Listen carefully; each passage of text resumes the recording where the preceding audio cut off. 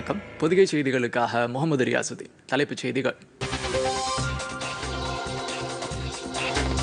கொரோனாவிற்கு பிந்தைய உலகில் இந்தியா மிகுந்த நம்பிக்கைக்குரிய மதிப்புக்குரிய நாடாக திகழும் அமைச்சர் ஜிதேந்திர சிங்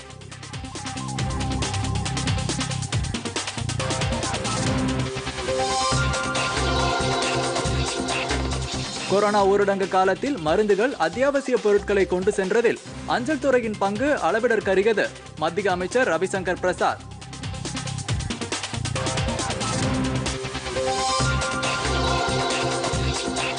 உள்நாட்டு விமான சேவை நாளை மறுநாள் தொடங்க உள்ள நிலையில் பயணச்சீட்டு முன்பதிவை தொடங்கின ஏர் இந்தியா உள்ளிட்ட விமான நிறுவனங்கள்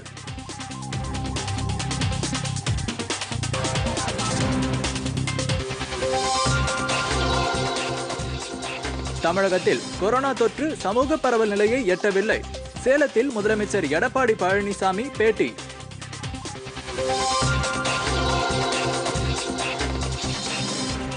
சென்னை தவிர்த்து தமிழகத்தின் இதர பகுதிகளில் முடித்திருத்தும் கடைகள் அழகு நிலையங்கள் நாளை முதல் செயல்படும் முதலமைச்சர் எடப்பாடி பழனிசாமி அறிவிப்பு விரிவான செய்திகள் கொரோனாவிற்கு பிந்தைய உலகில் இந்தியா மிகுந்த நம்பிக்கை மற்றும் மதிப்புக்குரிய நாடாக திகழும் என பிரதமர் அலுவலக இணையமைச்சர் ஜிதேந்தர் சிங் தெரிவித்துள்ளார் அவர் அளித்துள்ள பேட்டியில் மிகவும் நெருக்கடியான தற்போதைய காலகட்டத்தில் அனைத்து விதமான அச்சம் மற்றும் எதிர்பார்ப்புகளை புறக்கணித்து இன்னும் ஆறு மாதங்களில் உலகமே வியந்து மதிக்கும் அளவுக்கு இந்தியா திகழும் என்றும் நம்முடன் உறவு வைத்துக்கொள்ள பல நாடுகள் முன்வரும் என்றும் கூறியுள்ளார் இது மட்டுமன்றி புதிதாக தொழில் தொடங்குவதற்கும் வர்த்தகம் செய்வதற்கும் மிகவும் பாதுகாப்பான நாடாக இந்தியா உருவெடுக்கும் என்றும் ஜிதேந்திர சிங் தெரிவித்துள்ளார் கொரோனா பாதிப்பை எதிர்கொள்ள பிரதமர் நரேந்திர மோடி முன்கூட்டியே ஊரடங்கை அறிவித்தது கொரோனாவுக்கு பிந்தைய உலகிற்கான புதிய நடைமுறைகளில் பயிற்சி பெறுவதற்கு இந்தியாவிற்கு உதவிகரமாக அமைந்துள்ளது என்றும் அவர் தமது பேட்டியில் குறிப்பிட்டுள்ளார் கொரோனா பாதிப்பு தணிந்த பிறகு சிக்கிம் உள்ளிட்ட வடகிழக்கு மாநிலங்களுக்கு சுற்றுலா பயணிகளின் வருகை அதிகரிக்கும் என்றும் ஜிதேந்திர சிங் தெரிவித்துள்ளார் பிரதமரின் சுயசார்பு இந்தியா திட்டத்தை நடைமுறைப்படுத்த தேவையான நடவடிக்கைகளை எடுக்க வேண்டுமென இந்திய அஞ்சல் துறைக்கு அறிவுறுத்தப்பட்டுள்ளதாக மத்திய தொலைத்தொடர்பு மின்னணு மற்றும் தகவல் தொழில்நுட்பத்துறை அமைச்சர் ரவிசங்கர் பிரசாத் தெரிவித்துள்ளார் புதுதில்லியில் இது தொடர்பாக கருத்து தெரிவித்த அவர் இந்திய பாரம்பரிய மருந்துகளான ஆயுர்வேதம் யுனானி சித்தா போன்ற மருந்துகளை தேவையானவர்களுக்கு கொண்டு செல்ல தகுந்த நடவடிக்கைகளை அஞ்சல் துறை மேற்கொள்ள வேண்டியது அவசியம் என்று கூறினார் வேளாண் உற்பத்தி பொருட்கள் கைவினைப் பொருட்கள் போன்றவற்றை தேவைப்படும் வாடிக்கையாளர்களுக்கு வழங்குவதன் மூலம் இந்தியாவின் விநியோக சங்கிலி தொடரை தடையின்றி தொடரும் வகையில் அஞ்சல் துறை குறிப்பிட்ட திட்டத்தை மேற்கொள்ள வேண்டும் என்று அமைச்சர் கேட்டுக்கொண்டார் கொரோனா ஊரடங்கு காலத்தில் அத்தியாவசிய பொருட்களை கொண்டு சென்று வழங்குவதில் அஞ்சல் துறை பல்வேறு பணிகளை மேற்கொண்டது குறிப்பிடத்தக்கது நாடு முழுவதும் உள்ள ஒரு லட்சத்து ஐம்பத்தி ஆறாயிரம் தபால் நிலையங்கள் மூலம் தபால்கள் மட்டுமல்லாது தேவைப்படுவோருக்கு மருந்துகளும் நிதியுதவியும் உணவு உள்ளிட்ட பொருட்களையும் அவர்களின் வீடுகளுக்கே கொண்டு சென்று அஞ்சல் துறை வழங்கியது ஊரடங்கின் போது இரண்டாயிரம் டன்னுக்கும் மேற்பட்ட மருந்துகள் மருத்துவ உபகரணங்கள் உள்ளிட்டவை தனிநபர் மட்டுமல்லாது மருத்துவமனைகளுக்கும் அஞ்சல் துறையால் கொண்டு செல்லப்பட்டுள்ளது சமூக வானொலிகளில் விளம்பரத்துக்கான நேரத்தை ஒரு மணி நேரத்திற்கு பனிரெண்டு நிமிடங்களாக உயர்த்த மத்திய அரசு முடிவு செய்துள்ளதாக தகவல் ஒலிபரப்புத்துறை அமைச்சர் பிரகாஷ் ஜவடேகர் தெரிவித்துள்ளார் நாட்டில் உள்ள இருநூற்று தொன்னூறு சமூக வானொலி நிலையங்கள் வழியாக நாட்டு மக்களிடம் மத்திய சுற்றுச்சூழல் அமைச்சர் பிரகாஷ் ஜவடேகர் நேற்று உரையாற்றினார் அப்போது பேசிய அவர் சமூக வானொலி நிலையம் அமைப்பதில் ஏற்படும் செலவில் எழுபத்தி ஐந்து சதவீதத்தை மத்திய ஒலிபரப்புத்துறை அமைச்சகம் ஏற்றுக்கொள்கிறது என்றார் தினமும் ஏற்படும் செலவுகளை அந்த நிலையம் ஏற்றுக்கொள்வதாக அவர் குறிப்பிட்டார் இப்போது சமூக வானொலிகளில் ஒரு மணி நேரத்திற்கு ஏழு நிமிடம் விளம்பரத்திற்காக ஒதுக்கப்படுகிறது எனவும் தொலைக்காட்சிகளில் பனிரெண்டு நிமிடம் ஒதுக்கப்படுகிறது என்றும் அவர் கூறினார் பிற வானொலி நிலையங்களுக்கும் தொலைக்காட்சிகளுக்கும் வழங்குவது போல் சமூக வானொலிகளுக்கும் ஒரு மணி நேரத்திற்கு பனிரெண்டு நிமிட விளம்பர நேரம் வழங்க முடிவு செய்யப்பட்டுள்ளதாக அவர் தெரிவித்தார் இதன் மூலம் சமூக வானொலி நிலையங்களுக்கு வருவாய் அதிகரிக்கும் என்று கூறிய அவர் உள்ளூர் விளம்பரங்களை அதிக அளவில் சமூக வானொலி நிலையங்களில் ஒலிபரப்பு வாய்ப்பு ஏற்படும் என்றும் தெரிவித்தார் பொதுத்துறை விமான நிறுவனமான ஏர் இந்தியா மற்றும் பல்வேறு தனியார் விமான நிறுவனங்கள் நேற்று முதல் உள்நாட்டு விமான பயணத்திற்கான பயணச்சீட்டு முன்பதிவை தொடங்கியுள்ளன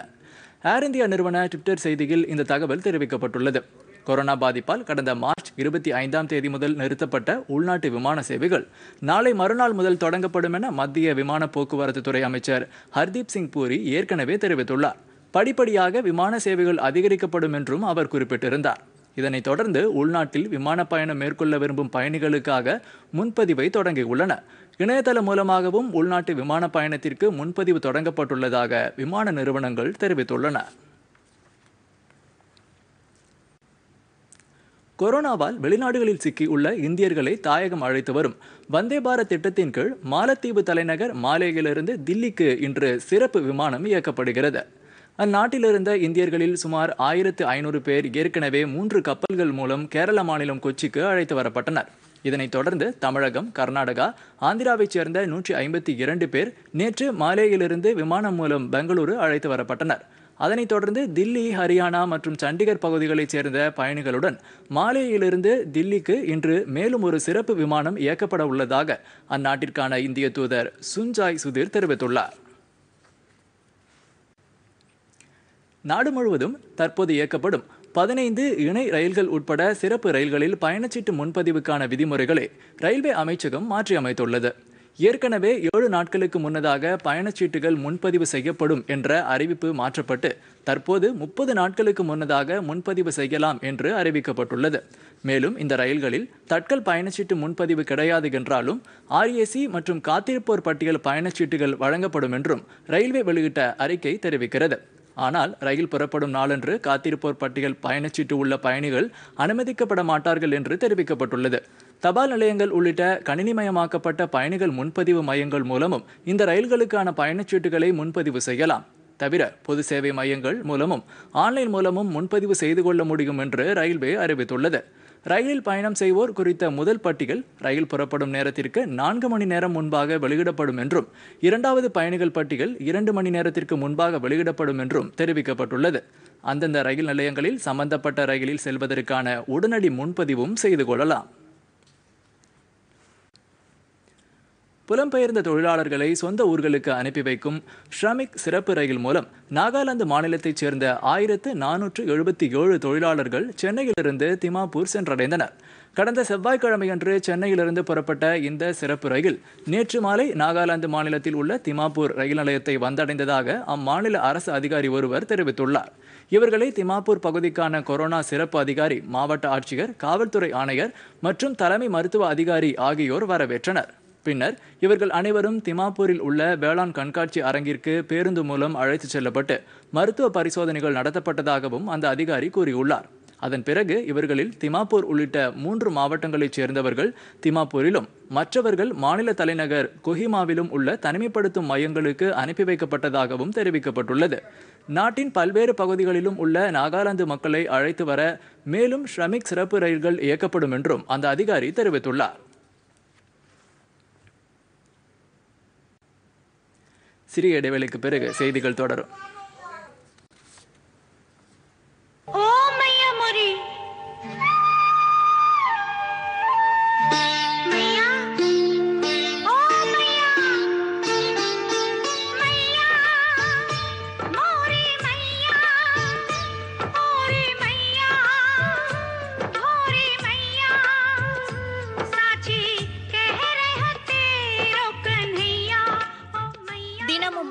ஒன்பது மணிக்கு டிடி நேஷனலில் கிருஷ்ணா இத்திகாச தொடர்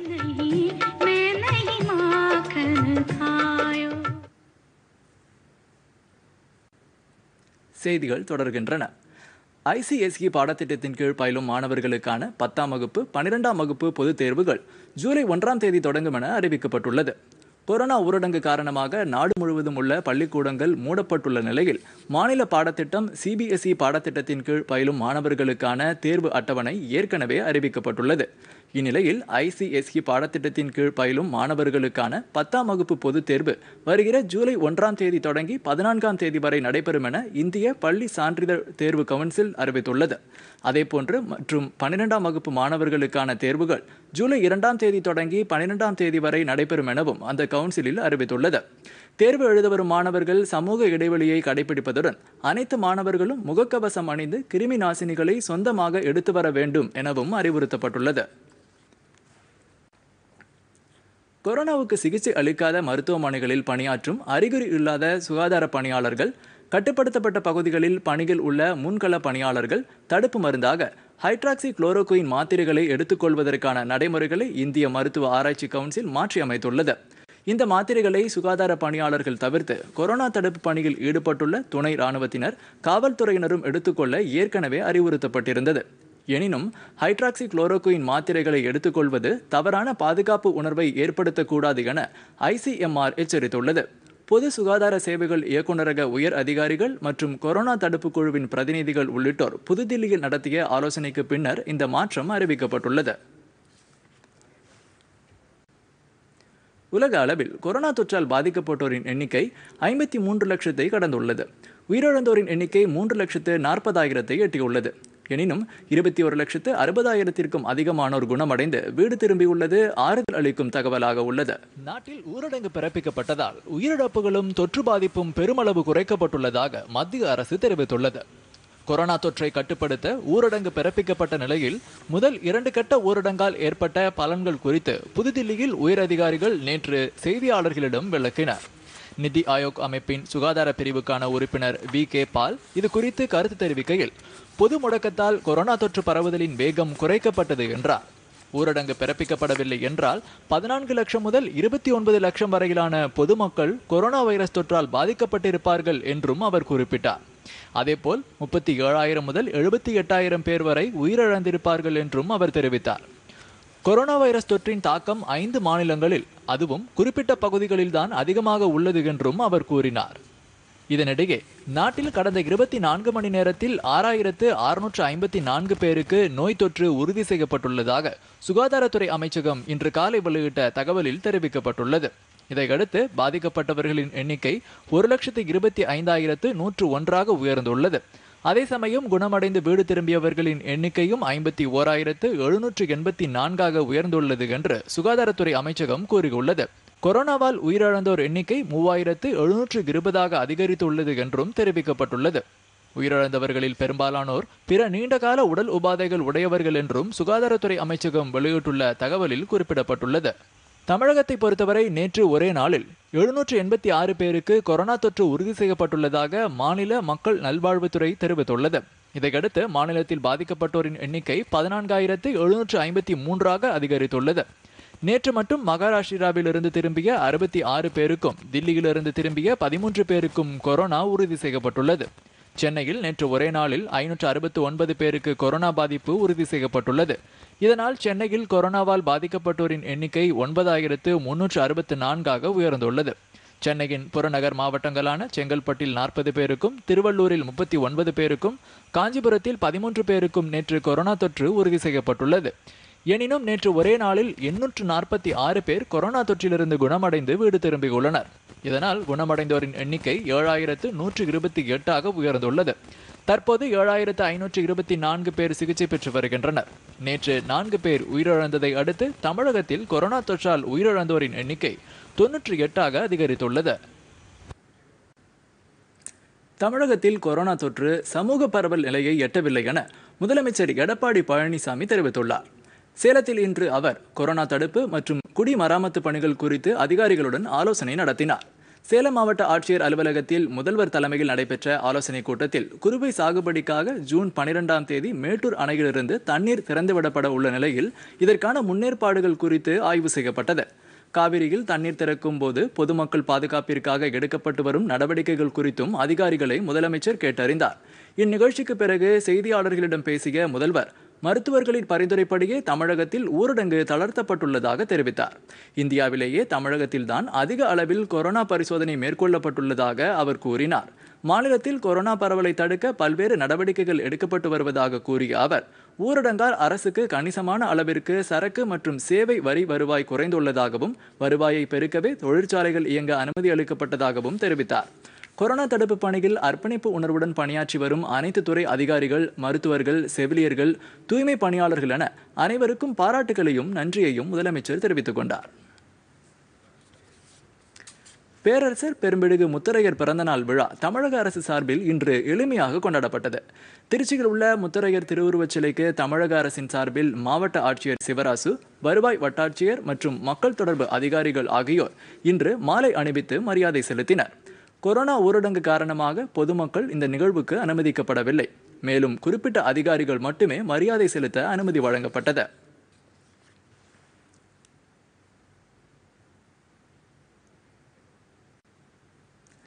தமிழகத்தில் சென்னை காவல்துறை எல்லைக்கு உட்பட்ட பகுதிகளை தவிர்த்து இதர மாநகராட்சிகள் நகராட்சிகள் மற்றும் பேரூராட்சி பகுதிகளில் நாளை முதல் முடித்திருத்தும் கடைகள் அழகு நிலையங்கள் செயல்பட மாநில அரசு அனுமதி வழங்கியுள்ளது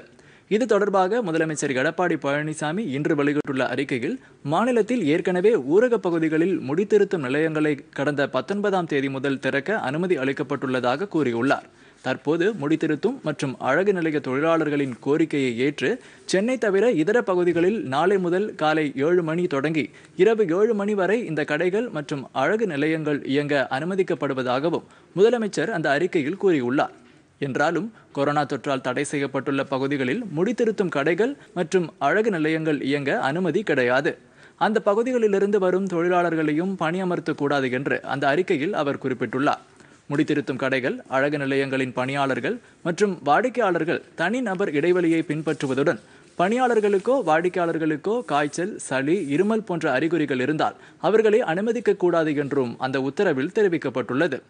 வாடிக்கையாளர்களுக்கு கிருமி நாசினி கண்டிப்பாக வழங்குவதையும் அவர்கள் முகக்கவசங்கள் அணிவதையும் உறுதி செய்வதுடன் நாள் ஒன்றுக்கு இந்த கடைகளில் ஐந்து முறை கிருமி நாசினி தெளிவிக்குமாறு அறிவுறுத்தப்பட்டுள்ளது மேலும் குளிர்சாதன வசதி இருந்தால் அதனை பயன்படுத்தக்கூடாது என்றும் முதலமைச்சர் அந்த அறிக்கையில் கூறியுள்ளார்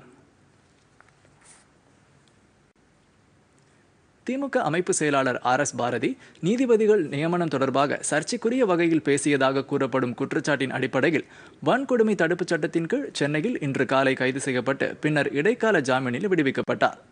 ஆலந்தூரில் உள்ள அவரது வீட்டிலிருந்து காவல்துறையினர் ஆர் எஸ் பாரதியை இன்று அதிகாலை கைது செய்தனர் அவரிடம் விசாரணை நடத்திய பின்னர் எழும்பூர் குற்றவியல் நீதிபதி முன்னிலையில் அவர் ஆஜர்படுத்தப்பட்டார் அவரை இடைக்கால ஜாமீனில் விடுவித்து நீதிபதி உத்தரவிட்டார் கடந்த பிப்ரவரி மாதம் திமுக சார்பில் நடைபெற்ற நிகழ்ச்சி ஒன்றில் ஆர் எஸ் பாரதி சர்ச்சைக்குரிய வகையில் பேசியதாக புகார் எழுந்தது அதன் அடிப்படையில் அவர் கைது செய்யப்பட்டிருப்பதாக காவல்துறை வட்டாரங்கள் தெரிவித்தன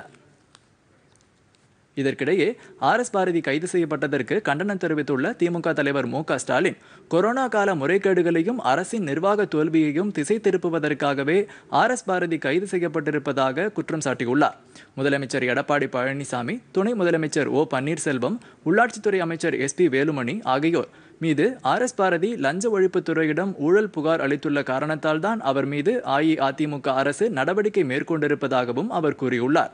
பட்டியல் இன பழங்குடியின மக்களின் உரிமைகளுக்காகவும் அவர்களின் சமத்துவ சமு சமூக நீதிக்காகவும் காலம் காலமாக திமுக அயராது பாடுபட்டு வரும் நிலையில் இது போன்று களங்கம் கற்பித்து திசை திருப்பிவிட முடியாது என்றும் மு ஸ்டாலின் தெரிவித்துள்ளார் கொரோனா ஊரடங்கால் பாதிக்கப்பட்டுள்ள அச்சு ஊடகத்துறையை மீட்டெடுக்க பல்வேறு சலுகைகளை அரசு அறிவிக்க வேண்டும் என பிரதமர் நரேந்திர மோடியை பாமக நிறுவனர் ராமதாஸ் கேட்டுக்கொண்டுள்ளார் இது தொடர்பாக பிரதமருக்கு கடிதம் எழுதியுள்ள ராமதாஸ் பொருளாதார அளவில் மிகப்பெரிய பாதிப்பை எதிர்கொண்டுள்ள அச்சு ஊடகங்களுக்கு பல்வேறு சலுகைகளை வழங்க வேண்டும் என வலியுறுத்தியுள்ளார் இதற்காக விளம்பரங்களை வெளியிட்ட வகையில் அச்சு ஊடகங்களுக்கு மத்திய மாநில அரசுகள் வழங்க வேண்டிய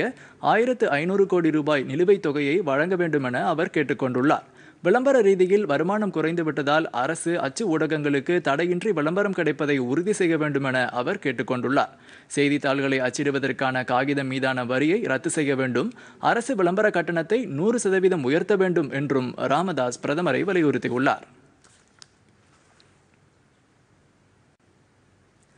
நாகை மாவட்டத்தில் குறுவை பயிர்களுக்கான ஆயத்த பணிகள் தொடங்கியுள்ளது கொரோனா தடை உத்தரவிலிருந்து விவசாய பணிகளுக்கு விலக்கு அளிக்கப்பட்டுள்ளதால் தற்போது இப்பணிகள் தங்கு தடையின்றி நடைபெற நடவடிக்கை எடுக்கப்பட்டுள்ளது இந்த ஆண்டு ஜூன் பனிரெண்டாம் தேதி காவிரியில் தண்ணீர் திறந்துவிடப்பட உள்ளது இதனால் மகிழ்ச்சி அடைந்துள்ள விவசாயிகள் உழவு பணிகளை தீவிரமாக ஈடுபட்டுள்ளனர் விவசாய பணிகளை தடையின்றி நடத்த அனுமதி அளித்த பிரதமருக்கு விவசாயிகள் நன்றி தெரிவித்துள்ளனர்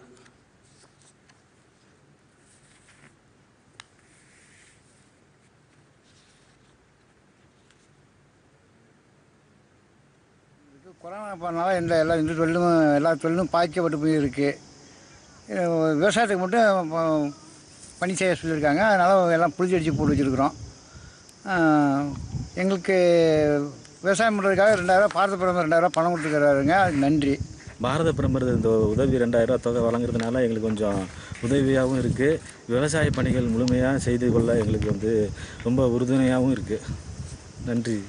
தாமதம் இல்லாத உங்கள் விவசாய வேலைகளை பாருங்கன்ட்டு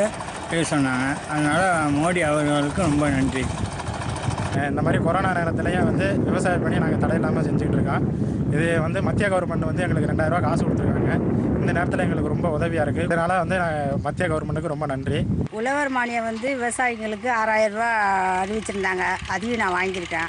கிடச்சிருக்கு எனக்கு அது நன்றி தமிழக அரசுக்கான இரண்டாயிரத்து அறுநூற்று ஒன்பது கோடி ரூபாய் நிலுவைத் தொகையை வழங்க வேண்டும் என்று மாநில உணவுத்துறை அமைச்சர் காமராஜ் மத்திய அரசை வலியுறுத்தியுள்ளார் மத்திய உணவுத்துறை அமைச்சர் ராம்விலாஸ் பாஸ்வான் மாநில உணவு அமைச்சர்களுடன் நேற்று காணொலி வாயிலாக ஆலோசனை நடத்தினார் இந்த ஆலோசனையில் ஊரடங்கு காலத்தில் குடும்ப அட்டைதாரர்களுக்கு வழங்கப்பட்ட நிவாரணம் குறித்து தமிழக உணவு அமைச்சர் காமராஜ் மத்திய அமைச்சரிடம் விளக்கம் அளித்தார் மேலும் தமிழகத்திற்கு வழங்க வேண்டிய நிலுவைத் தொகையை வழங்குமாறு வலியுறுத்தினார் தமிழகத்தில் ஊரடங்கு காலத்தில் இதுவரை ஐந்து லட்சத்து ஆயிரத்து அறுநூற்று நாற்பத்தி ஒன்பது மெட்ரிக் டன் அரிசி குடும்ப அட்டைதாரர்களுக்கு வழங்கப்பட்டுள்ளதாகவும் அமைச்சர் காமராஜ் கூறினார் தமிழகத்திற்கு ஒதுக்கப்பட்டுள்ள ஐந்து லட்சத்து முப்பத்தி ஆறாயிரம் மெட்ரிக் டன் அரிசியில் ஐந்து லட்சத்து ஆயிரத்து அறுநூற்று நாற்பத்தி ஒன்பது மெட்ரிக் டன் அரிசி பயனாளிகளுக்கு விநியோகிக்கப்பட்டுள்ளதாக அவர் கூறினார் இதேபோல் தமிழகத்தில் பயனாளிகளுக்கு முப்பத்தி மூன்றாயிரத்து நூற்று எழுபத்தி ஆறு மெட்ரிக் டன் துவரம்பருப்பு விநியோகிக்க வேண்டியுள்ளதால் அவற்றை மத்திய உணவுக் கழகம் உடனடியாக விநியோகிக்க நடவடிக்கை எடுக்க வேண்டும் என்றும் அவர் கேட்டுக்கொண்டார் தமிழகத்தில் ஒரே நாடு ஒரே குடும்ப அட்டை திட்டத்தை செயல்படுத்தும் வகையில் நியாய விலை கடைகளில் பயன்படுத்தப்படும் மின்னணு கருவிகளை இணைக்கும் பணி செப்டம்பரில் நிறைவடையும் என்றும் அமைச்சர் காமராஜ் குறிப்பிட்டார் பயோமெட்ரிக் கருவிகளை கொள்முதல் செய்து அவற்றை நியாய விலை கடைகளில் உள்ள விலைப்பட்டியல் கருவிகளுடன் இணைக்கும் பணிகள் இறுதிக்கட்டத்தை எட்டியுள்ளதாகவும் அமைச்சர் கூறினார் விழுப்புரத்தில் மகளிர் சுய உதவி குழுவினருக்கு சிறப்பு கடன் உதவி திட்டத்தின் கீழ் ஒரு கோடியே எட்டு லட்சம் ரூபாய் மதிப்பிலான கடன் உதவிக்கான காசோலைகளை மாநில சட்ட அமைச்சர் சி வி சண்முகம் வழங்கினார் விழுப்புரம் மாவட்ட மத்திய கூட்டுறவு வங்கி மகளிர் சுய உதவி குழுக்களுக்கு சிறப்பு கடன் உதவி திட்டம் அறிவிக்கப்பட்டு நூற்றி இருபத்தி ஆறு குழுவினருக்கு கடன்கள் வழங்கப்பட்டன இதற்கான நிகழ்ச்சியில் கலந்து கொண்டு பேசிய அமைச்சர் சி வி சண்முகம் இந்த கடன்களின் மூலம் சுய உதவி குழுக்களில் உள்ள ஒவ்வொரு உறுப்பினருக்கும் குறைந்தது ஐந்தாயிரம் ரூபாயிலிருந்து அதிகபட்சமாக ஒரு லட்சம் ரூபாய் வரை கடன் வழங்கப்படுவதாக தெரிவித்தார் கடன்களை ஆறு மாதங்களுக்கு திருப்பிச் செலுத்த தேவையில்லை என்றும் அதன் பின்னர் சம தவணைகளில் திருப்பித் செலுத்தலாம் என்றும் அமைச்சர் குறிப்பிட்டார்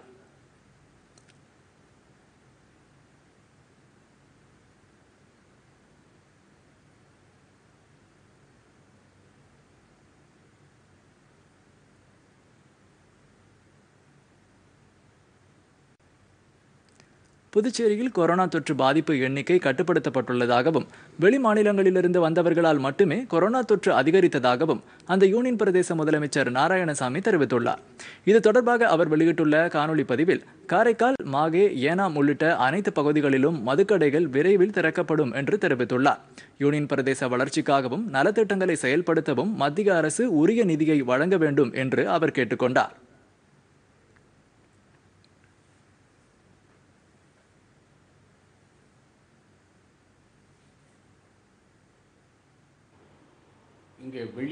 நாட்டிலிருந்து துபாயிலிருந்து வந்தவர்கள் நான்கு பேர்கள் இப்பொழுது புதிதாக காலப்பட்டு பகுதியில் ஒருவர் ஒரு அம்மையாருக்கு கொரோனா தொற்று அறிகுறி இருந்து அவரும் சேர்க்கப்பட்டிருக்கிறார்கள் காரைக்காலில் ஒன்று மாயவில் இரண்டு மொத்தம் பதினேழு பேர்கள் புதுச்சேரி மாநிலம் முழுவதும் கொரோனா தொற்றுநோய் பாதிப்பிலிருந்து மருத்துவம் செய்யப்பட்டு வருகிறார்கள் இந்த எண்ணிக்கை உயர்ந்ததுக்கு காரணம் புதுச்சேரியில் இருப்பவர்களுடைய நம்முடைய மாநில மக்கள் முகக்கவசம் அணிவதும் சமூக இடைவெளியை கடைப்பிடிப்பதும் பொது இடங்களை செல்வதற்கு தவிர்ப்பதுமாக இருக்க வேண்டும் என்று நான் கேட்டுக்கொள்கிறேன் லடாக்கில் நிலவும் எல்லை குறித்த சிக்கல் தொடர்பாக இந்தியாவுக்கும் சீனாவுக்கும் இடையே ஐந்தாவது சுற்று பேச்சுவார்த்தை தோல்வியில் முடிந்தது லடாக்கில் பாங்காக் ஏரி பகுதியிலும் கல்வான் பள்ளத்தாக்கு பகுதியிலும் இரு நாட்டு இராணுவத்தினருக்கும் இடையே சிக்கல்கள் ஏற்பட்டதை அடுத்து அங்கு சற்று பதற்றமான சூழல் நிலவுகிறது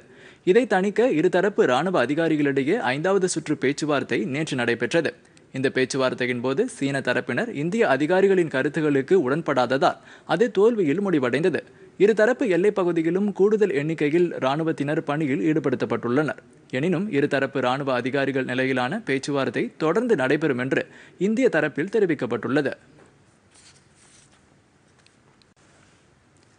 சீனாவில் உய்குர் இஸ்லாமிய சிறுபான்மையினர் மீதான அடக்குமுறைகளுக்கு எதிர்ப்பு தெரிவிக்கும் விதமாக சீன அரசுத்துறை மற்றும் வர்த்தக பிரதிநிதிகள் குழுவினர் பலருக்கு விசா கட்டுப்பாடுகளை அமெரிக்கா விதித்துள்ளது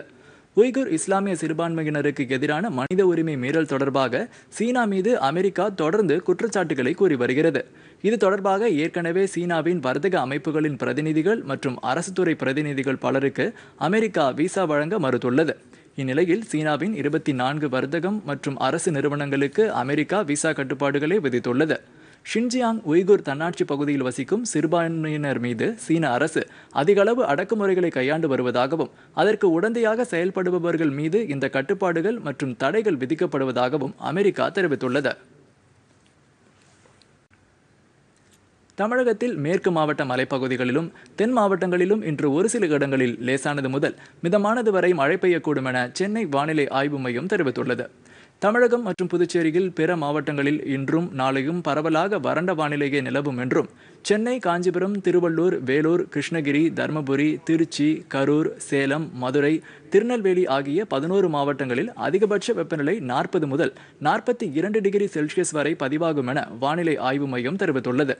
அதிகபட்சமாக திருத்தணியில் இன்று நாற்பத்தி மூன்று புள்ளி எட்டு டிகிரி செல்சியஸ் பதிவாகி உள்ளதாக வானிலை மையத்தின் அறிக்கை தெரிவிக்கிறது கடந்த இருபத்தி நான்கு மணி நேரத்தை பொறுத்தவரை கன்னியாகுமரி தருமபுரி கிருஷ்ணகிரி நீலகிரி மாவட்டங்களில் பரவலாக மழை பதிவாகி உள்ளதாக அந்த அறிக்கை கூறியுள்ளது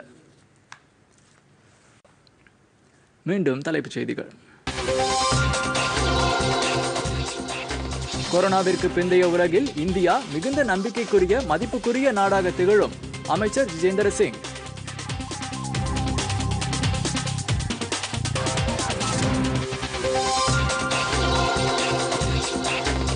கொரோனா ஊரடங்கு காலத்தில் மருந்துகள் அத்தியாவசிய பொருட்களை கொண்டு சென்றதில் அஞ்சல் துறையின் பங்கு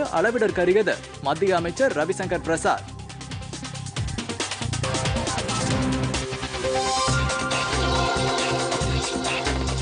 உள்நாட்டு விமான சேவை நாளை மறுநாள் தொடங்க உள்ள நிலையில் பயணச்சீட்டு முன்பதிவை தொடங்கின ஏர் இந்தியா உள்ளிட்ட விமான நிறுவனங்கள்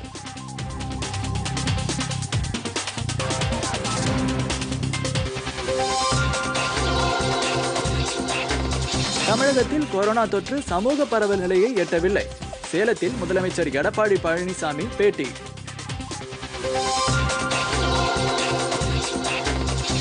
சென்னை தவிர்த்து தமிழகத்தின் இதர பகுதிகளில் முடித்திருத்தும் கடைகள் அழகு நிலையங்கள் நாளை முதல் செயல்படும் முதலமைச்சர் எடப்பாடி பழனிசாமி அறிவிப்பு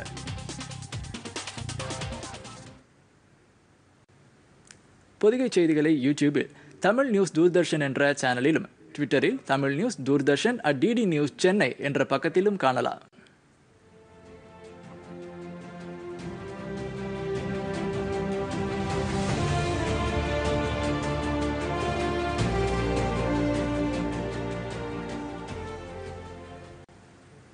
இத்துடன் இந்த செய்தி அறிக்கை நிறைவு பெற்றது மீண்டும் செய்திகள் மாலை ஐந்து மணிக்கு வணக்கம்